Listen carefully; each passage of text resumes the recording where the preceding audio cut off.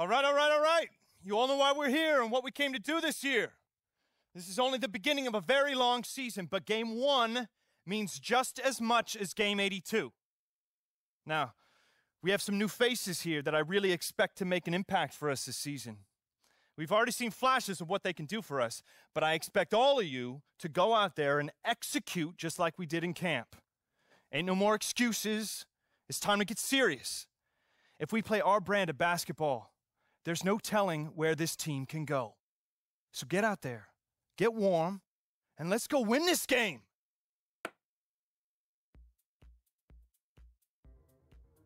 Here we go. My first NBA game.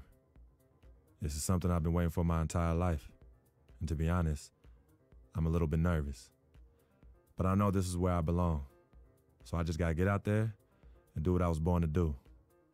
I hope I can make my family proud.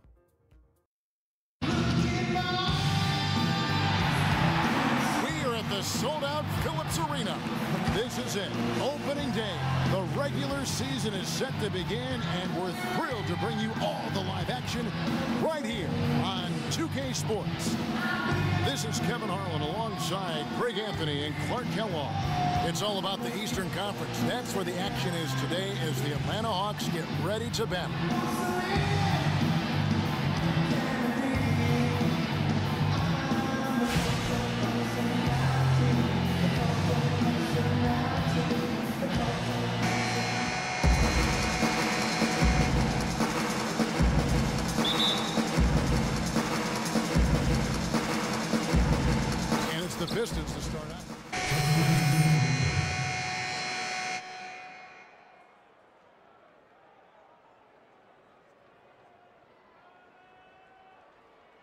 We'll get to watch the first official NBA appearance from Kane. You know, he's a great young player and even a better young man. So, so personally, I couldn't be happier for him. I, I know he's thinking about the game, but I hope he's able to take a moment to just enjoy this accomplishment.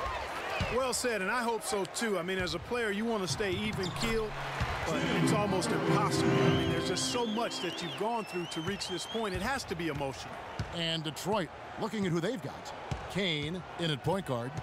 Aron Baynes out there with Johnson. Then there's Jackson, and it's Caldwell Pope in at the small forward. Back to Johnson. Kicks to Jackson. Here's Kane. It's good. The assist this time from Jackson. Kane makes the bucket. An important momentous occasion for this young guy getting his first points in an NBA uniform.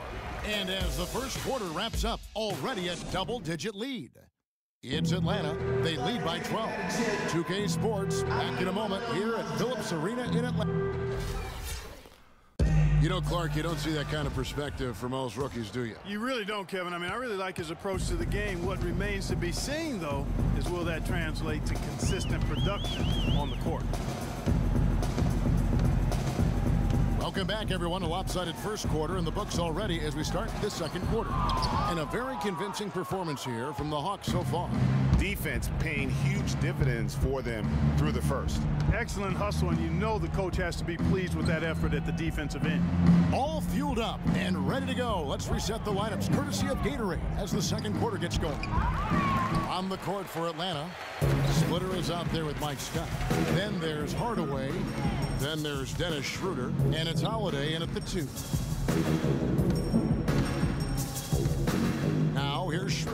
He's guarded closely, and he gets it to go. Scott's got the lead up to 14 now for the Hawks. And Mike Scott out of Virginia becoming a pretty deadly spread four in the pros. He only shot a single three his rookie season. Last season, threes made up almost half the shots he attempted. Johnson, the pass to Kane. Shot clock at six.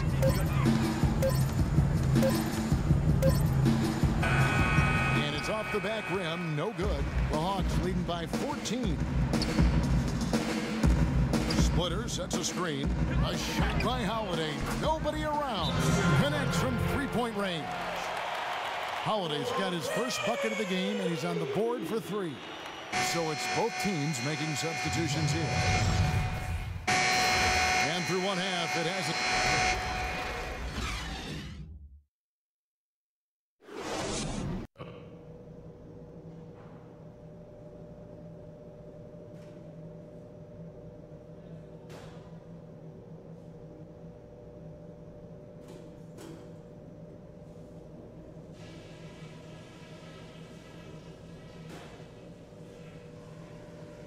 Okay, listen. Let's just put that first half behind us as quickly as possible. Here's what I took away. Okay, let's keep it going. And as we begin the second half, first half wasn't even close. He's checked in for Jodie Meeks. Detroit's gone 1-2 from beyond the arc since coming out of the break. On the court for the Pistons, Kane in a two-guard. Ilyasova out there with Andre Drummond. Then it's Marcus Morris, and it's Jennings in at the point. And they're one of four here to start the second half. Hawks have got a paltry 0 of 6 to begin the third quarter. What a terrible start to the half. T kicks to Horford. Comes up empty off the pick. Those are chances almost always you can rely on him to get you two points, but the D just enough to keep him out of rhythm. Dishes to Morris.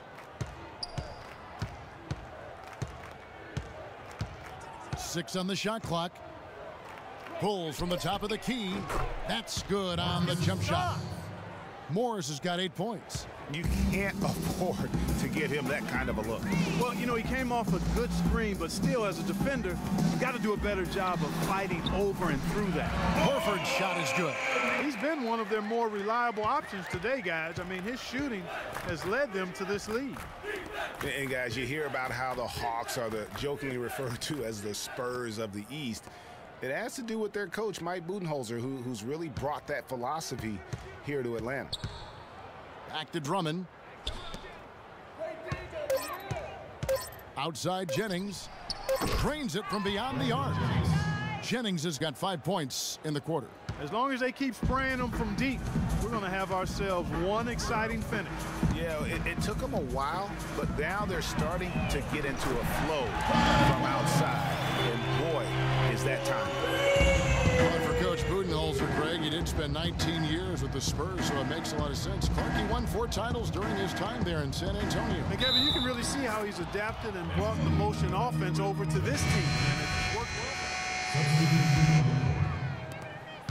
There's a four-second difference from the shot clock to the game clock. We've got Paul Millsap. Dennis Schroeder is out there with Kyle Korver. And it's Splitter, and it's Sefolosha in at the three set. So that's the Hawks five. Schroeder kicks to Millsap. Misses the three.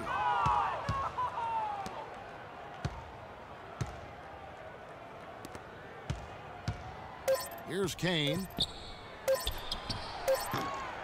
Off target with that shot.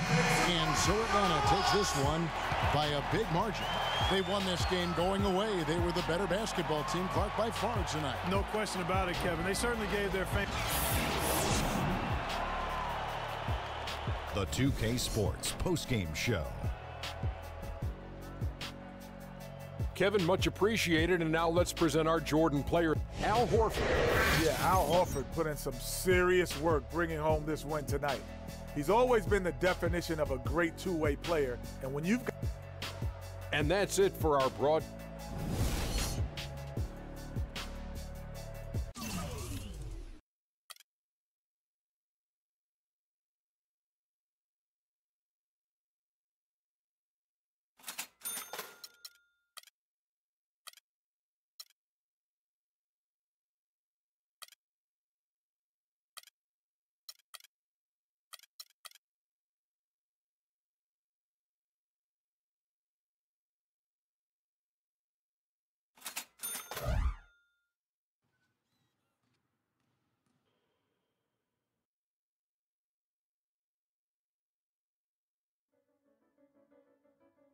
coming home. New York City, baby. I'll be honest, I'm pretty excited. Mama, Pops, and Cece, yeah, they're gonna be there. Playing in front of them in the NBA uniform for the first time is gonna be a special moment for me. Now I know all of Harlem's gonna be watching. No pressure, right? It's all good though. I've been waiting for this my entire life. And I'll be ready.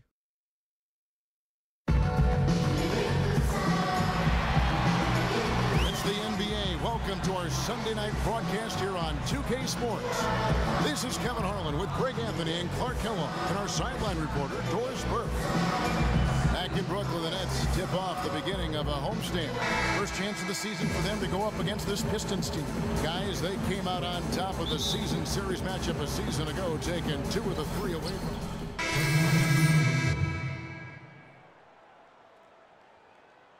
Comes in for Thaddeus Young. Hollis Jefferson's checked in for Johnson.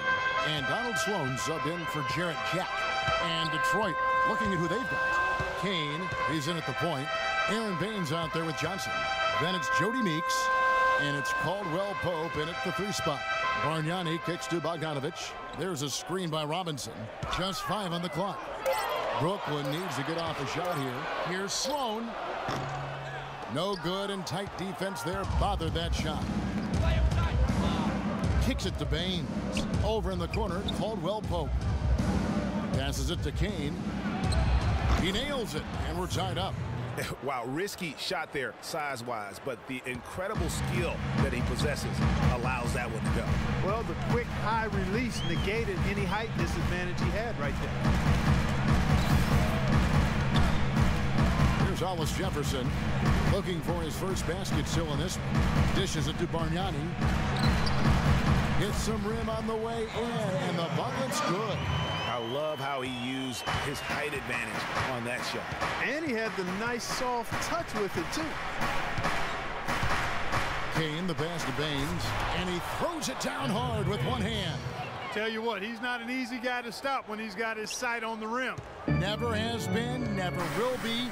He is a determined finisher. Did he just go chop chop there to put that one hand tomahawk slam? Drops in the breakaway layup. 58 seconds left to play in the first quarter. Pass to Hollis Jefferson. There's a screen by Robinson. Hollis Jefferson passes to Sloan. Off the pick. Knocked away. Well, for Detroit, their last game a loss to the Thunder in Oklahoma City. Yeah, foul trouble early on, I thought, set the tone in that game, and it just made it difficult for them to get over the hump. Yeah, it really got them out of sync, and that hurt them big time. Forced them to go much deeper into their bench than they would have liked to. Bargnani a screen on Johnson. Down to five on the shot clock. Here's Sloan. Kane grabs the board. Here's Caldwell Pope. No good trying to beat the buzzer. At the end of one, a closely contested game so far. The Pistons. And that's a coach Lionel Hollins known for his no-nonsense style, but he'll tell you he's still got a good sentence. I told him, oh, you can joke with me, you can laugh at me. I'm not perfect. You'll see me hobbling out there on the court. You'll see me stumble. I still don't think the coach...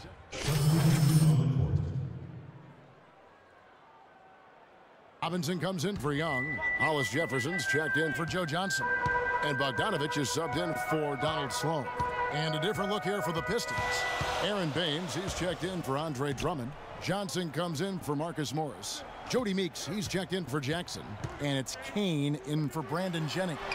And Detroit looking at who they've got. Kane, he's in at point guard. Johnson is out there with Ilyasova. Then it's Aron Baynes, And it's Meeks in at the two-guard spot.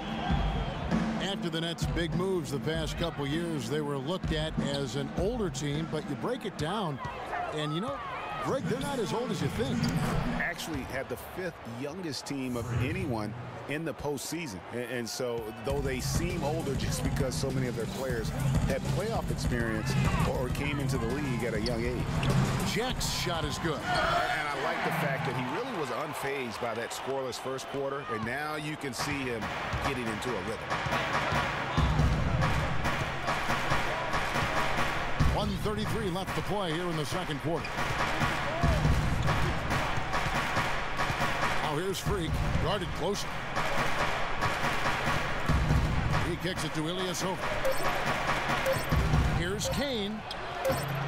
Rebounded by the Nets. Tough loss coming against Cleveland in their last game played. And I think they could hold their heads high from that performance, you know, despite the final score being what it was. I agree with you. I mean, it was a tough game played in a tough environment on the road, and they were in it right until the bitter end, so that's good stuff. There's not a lot you can say that hasn't been said before about his skill at the charity stripe. Outside Jack. 102 left in the first half. That's good.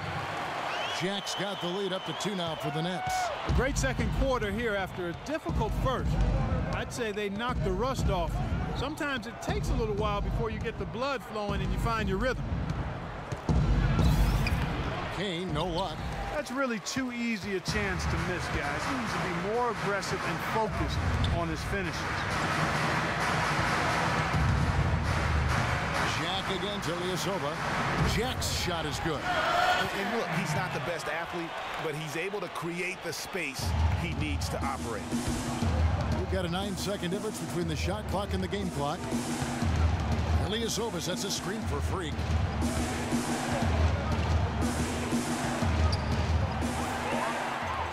In transition, here come the Nets. A huge slam, the perfect end of the fast break. And that's the kind of play you just do not want to give up defensively. You lose the possession and give up a quick two at the other end. That's losing basketball. Especially when you can't afford to give up any buckets. That's a nice lead now. Johnson dishes to Ilyasova. That's good, and it's Johnson with the assist. Ilyasova's got 10 points in the quarter. Yeah, it's such a sweet three-point stroke there, and it can really open things up inside.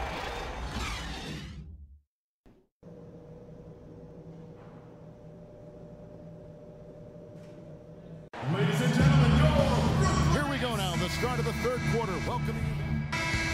And so it's the Pistons who come out on top here. This win, such a tremendous emotion. The 2K Sports postgame show. Thank you, Kevin. And Andre Drummond. He led the way tonight with a double-double and was a major reason why they won tonight. His effort and intensity gave them the... And that wraps...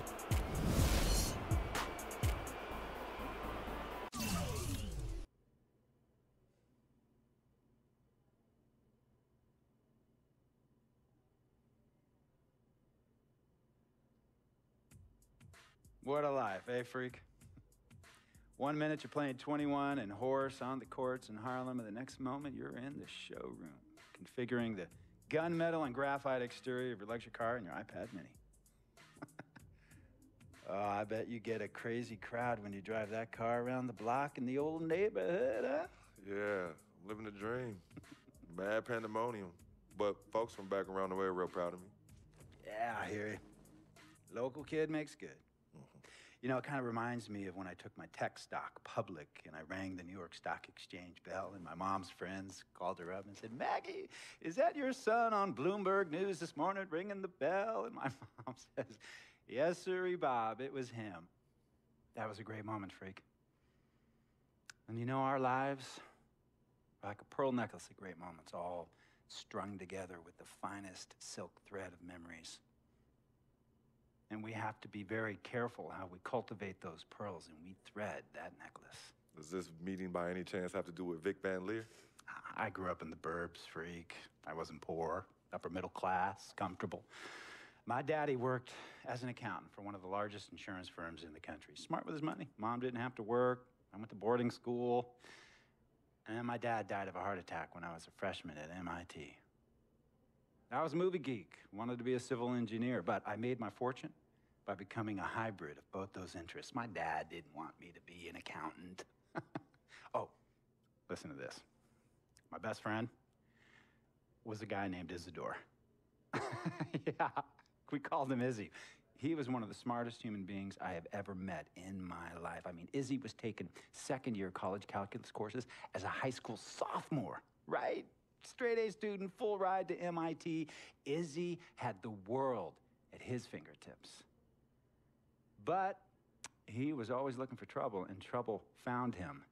He ran with the wrong crowd. And when we got to MIT, he got this great job working for a financial consulting firm in Boston. Mm.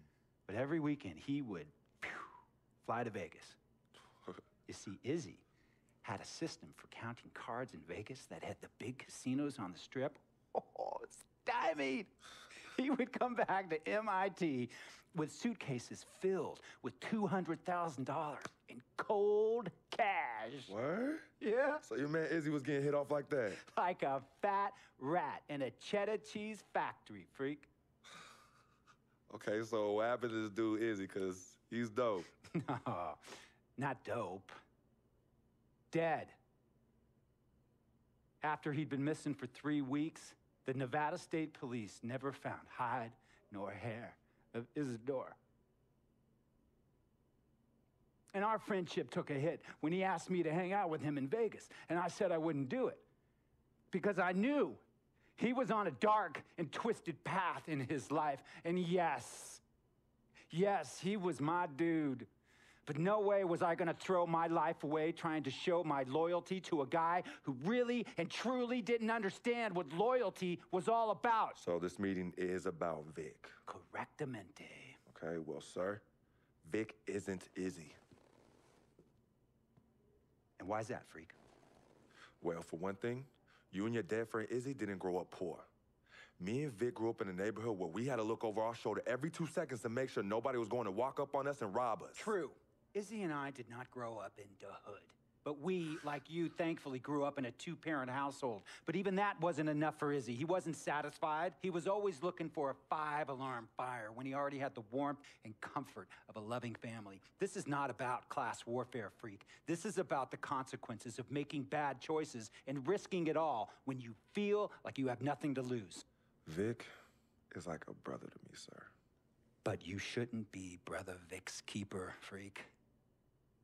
Would a brother go looking for trouble and put your career and your livelihood at risk by getting into fights at nightclubs and seedy after hour joints and then scream to the media, yeah, it's all good, I'm an FOF, friend of freak. It's all misunderstanding. Y'all be haters, don't hate my game. I don't think a brother would do that to someone they really cared about, but a guy who looked at you like a meal ticket would. No. See, you don't understand Vic. Really? I don't understand. No.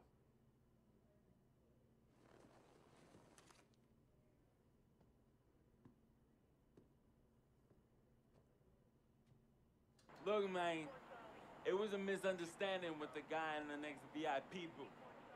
His honey started flirting with me, so naturally I started flirting back. Next thing I know, Captain Cornball's off my grill piece beefing. Next thing he know, he got a two-piece and a biscuit on his left eye. hey, nah, nah, I, I don't know who hit him. And it damn sure wasn't me. hey, Captain Cornball's mad because I'm an FOF, friend of freak. hey, but check this out though.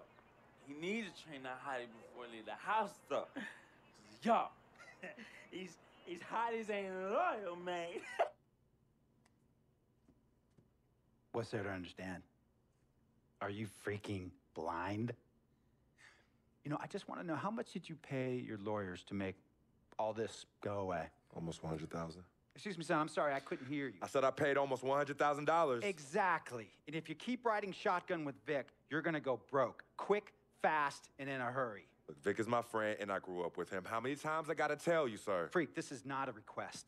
I am not asking you to do this. I am telling you to do this. And the first order of business is that Mr. Vic Van Lier is banned from traveling with you on the road. Vic is banned from the locker room. And Vic is banned from this arena. And if I catch this guy, Vic, in or anywhere near the facilities, Mr. Vic Van Lier will be arrested for trespassing. Are you serious, sir? Brother, I'm as serious as cancer. We all know that can be deadly.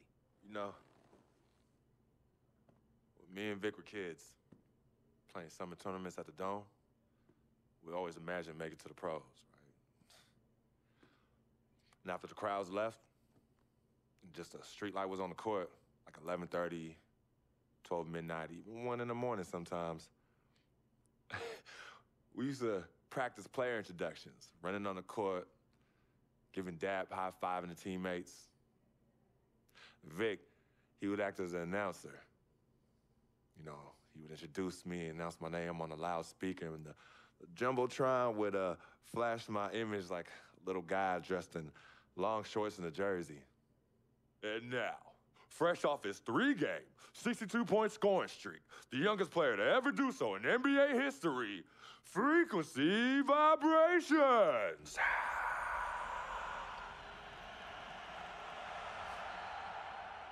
So me and Vic would sit in those empty bleachers at the Dome and dream like nobody's business. And now, and now I'm living a dream. For real. And in so many ways, Vic was part of that. Please, listen to me. I mean, I know this guy's your dude from way back. Look, me and Vic go way back like the front seats of a 67 Cadillac. That's good. That's we go way back. Did you say? Did you say front seats? Front, front seats of a 67 Cadillac. We go way back like the front seats of a 67 Cadillac.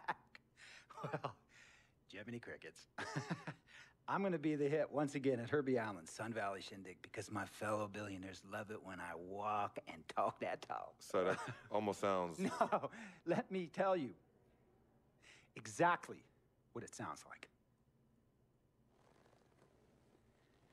I respect, admire, and most importantly, love you as a human being and a role model. But I pay you a lot. And I mean, I pay you a lot of money to play for my team. And I am in this game to win it. And you can't win it with an albatross around your neck like Vic. So Vic is done. History. And here's some more lingo that I picked up from a former megastar who used to play for me several seasons ago. Thought I would never release him until I did. And now he's the sixth man on a struggling team in Venice. And yeah, I'm talking Venice with the canals and the gondolas and Harry's bar, not the street ballers next to the fortune tellers on the beach in Cali. This guy used to tell me when he thought there was a player destroying our team don't be a hero, cut that zero. And that is what I am telling you about Vic, freak. Don't be a hero, cut that zero. The only thing Vic brings into your life is headache and unwanted and unnecessary negative attention.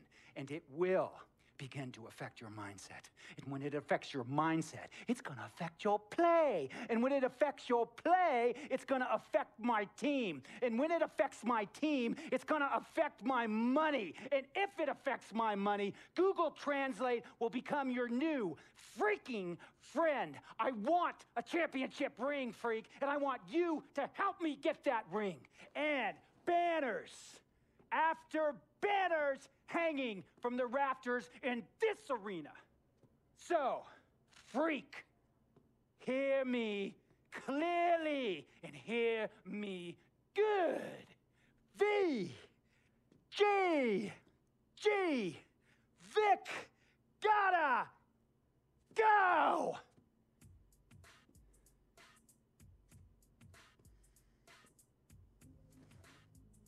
Handle business.